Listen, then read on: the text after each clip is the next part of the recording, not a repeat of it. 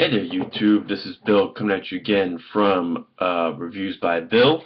Got another review today. Got my LumaForce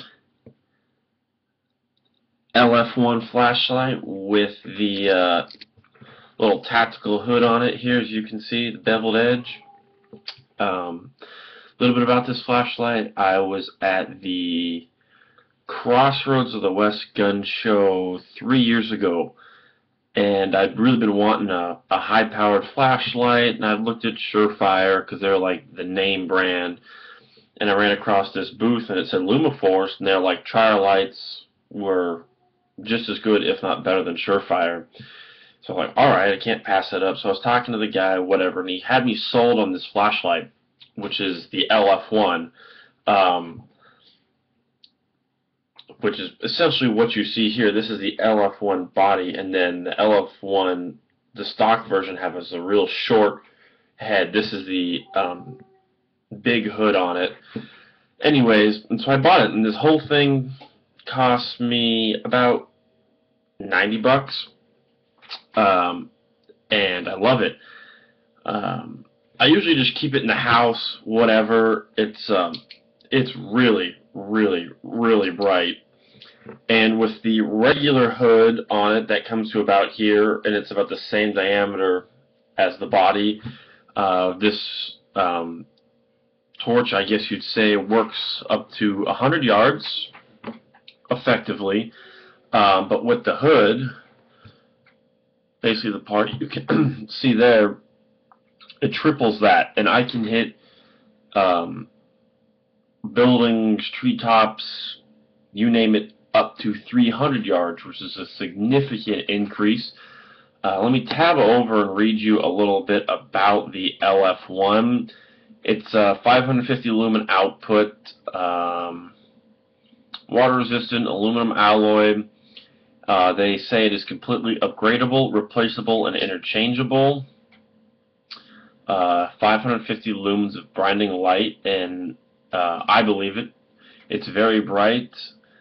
Um, they say it has applications in hunting, camping, self-defense. Uh, you can put it on your uh, firearm. It's a one-inch diameter light, which is what you see there. Da -da -da. I think that's about it. And let me see what they say. I'm on their website right now um, about the hood. The hood and an empty LF1 body is 70 bucks. They say 300 yard effective range versus 100 without the hood, and it just screws onto the top.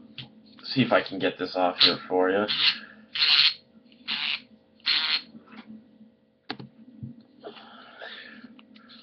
Lots of threading here.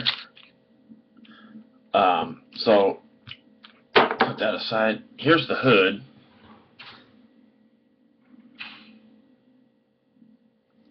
Nice little spring in the back there. Uh, one thing I really like about this is I'm a six foot, 200 pound white Caucasian male, so maybe this doesn't apply to me as much as, you know, say some of the ladies out there, but it's got a beveled uh, rim, so if you go to hit somebody, it's got a little bit of sharpness to it, I guess. It's pokey.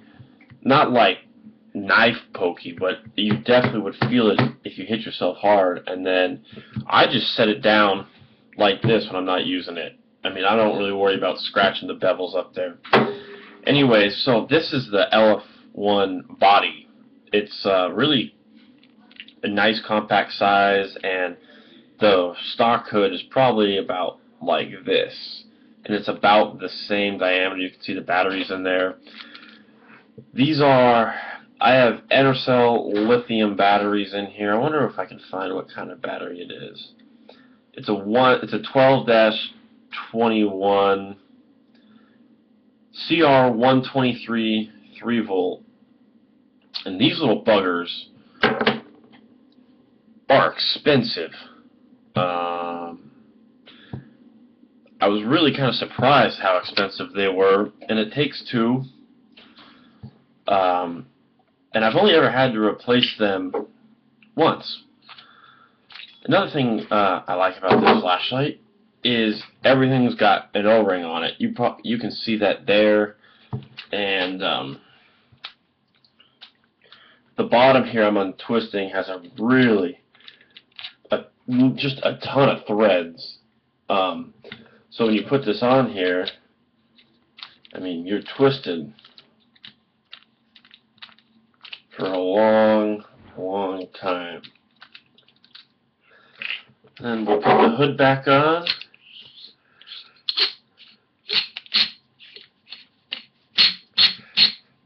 And there you go. Uh, push button in the back there. Just push it on off. Anyways, review of this flashlight.